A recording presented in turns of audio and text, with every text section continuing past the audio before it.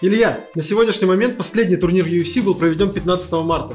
Более того, все крупные спортивные мероприятия были приостановлены больше месяца назад. И на то, конечно же, есть очень весомая причина. Ведь во всем мире сейчас происходит ожесточенная борьба с эпидемией коронавируса. Но буквально на днях был анонсирован турнир по рестлингу. Компания WWE получила разрешение от губернатора штата Флорида на проведение турнира без зрителей. И это дает немало надежды на то, что UFC сможет получить вожделенное разрешение на проведение своего турнира, который был запланирован на 9 мая. Хорошо это или плохо?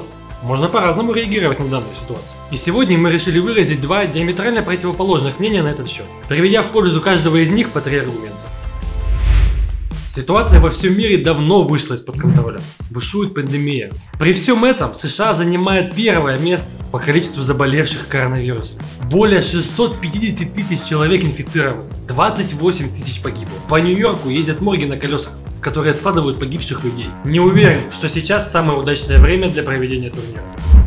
Конечно, в первую очередь встает финансовый вопрос. Ведь по договору с ESPN UFC в 2020 году обязаны провести 42 турнира, которые будут показаны в эфире канала. И за это промоушен получит ни много ни мало 750 миллионов долларов. Согласитесь, эта сумма стоит того, чтобы попотеть и постараться провести оставшиеся 35 турниров за 8 месяцев.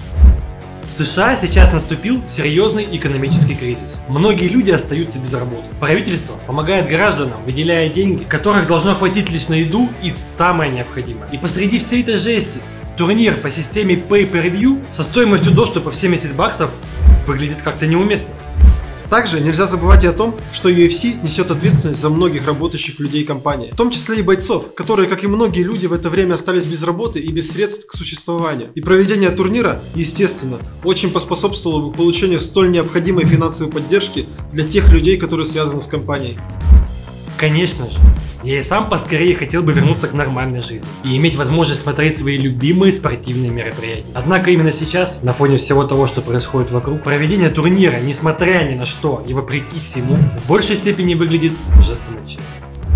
Ну и, конечно, самое главное, что в такой сложный для всего мира период жизненно важно необходимо сохранять позитивный настрой. И такое отвлечение от внешних проблем, как любое большое спортивное мероприятие, турнир UFC в нашем случае, придаст моральных сил людям и поможет, пусть и частично, снять накопившийся стресс. Не поймите меня неправильно. Я, как и все, хочу, чтобы UFC возобновили свою деятельность и продолжили радовать нас своими ивентами. Но на мой взгляд было бы уместнее подождать еще пару месяцев и начать проводить турниры сразу, как только эпидемия пойдет на спад. Безусловно, во всем мире на данный момент достаточно сложная ситуация. Но именно сейчас очень важно находиться на позитивной волне. Быть в изоляции, чтобы не подвергать себя и окружающих опасности. И такого рода события, как турниры UFC, определенно в этом помогут. Люди смогут легче переносить время карантина, зная, что в конце недели их ждет очередное мега-событие от любимого промоушена. А как ты считаешь, стоит ли UFC организовать турнир 9 мая? Или же в данной ситуации это неуместно? Пиши об этом в комментариях, а также пиши свои аргументы в пользу того или иного мнения. Это Илья Герасимов. А это Иван Неумин. Обязательно подписывайся, ведь впереди тебя ждет еще очень много всего интересного. Ставь лайк. До свидули. Pay-per-view. Сначала плати, потом смотри. Но буквально на днях был анонсирован турнир... Но буквально на днях был анонсирован... Но буквально на днях был анонсирован турнир... Ты увидел, что я пожал, да? Третий раз уже поворачиваюсь. Ну буквально... Чтобы не поворачивался.